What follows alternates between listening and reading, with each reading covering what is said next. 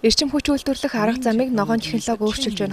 2013 оны байдлаар дэлхийн нийт цахилгааны 20% сэргээгдэх эрчим хүчний их өсвөрөөс гарган авсан байна. Сэргээгдэх эрчим хүч бол хизээж шавхагддаггүй бөгөөд хүн төрөлхтний өсөн нэмэгдэж байгаа цахилгаан эрчим хүчний хэрэгцээг байгаль орчинд ээлтэйгээр хангах цорын ганц боломж гэж хэлж болно. 2016 он гэхэд нүүрсний дараа орох эрчим хүчний гол их өсвөр нь сэргээгдэх эрчим хүч байх болно. Энэ үед цөмийн станцуудын үйлдвэрлэдэг эрчим хүчийг хоёр дахин нугалсан хэмжээнийхийг сэргээгдэх эрчим хүчний их өсвөрөөр үйлдвэрлэх болно. Сэргээгдэх эрчим хүч ийм хүч төрөн орж ирэхэд хятад улс чухал үргийг гүйцэтгэж байгаа.